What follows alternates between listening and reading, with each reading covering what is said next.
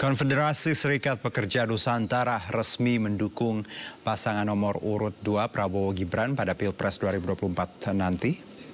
Dan Rabu malam Konfederasi Serikat Pekerja Nusantara berkunjung ke kediaman Capres Prabowo Subianto di Kertanegara, Jakarta. Ketua Umum KSPN Ristadi disambut hangat oleh Capres Prabowo Subianto yang didampingi Ketua TKN Prabowo Gibran Rusan, Rosan Ruslani.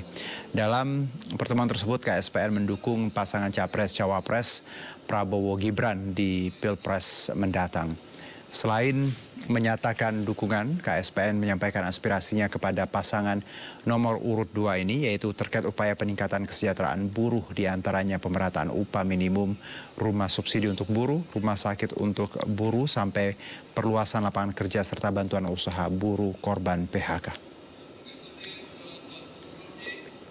Uh, visi, misi dan juga uh, apa gagasan yang di, yang disap, yang dilontarkan disampaikan oleh Pak Prabowo itu sangat-sangat uh, apa uh, sejalan dengan uh, KSPN dan mereka pun menyampaikan hal-hal yang merupakan inspirasi dan aspirasi dari KSPN ke Bapak uh, Prabowo Subianto.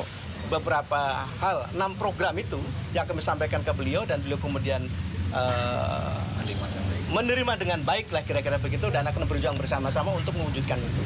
Sehingga kemudian kami lebih yakin bahwa uh, atas jawaban beliau kami dari DPP KSPN melalui kajian yang panjang pada akhirnya pada tanggal 28 Oktober kami melalui rapat pleno DPP KSPN menyatakan dukungan secara resmi kepada Pak Prabowo dalam Pilpres 2024. Sekaligus kami juga siap menjadi relawan untuk pemenangan pasangan Pak Prabowo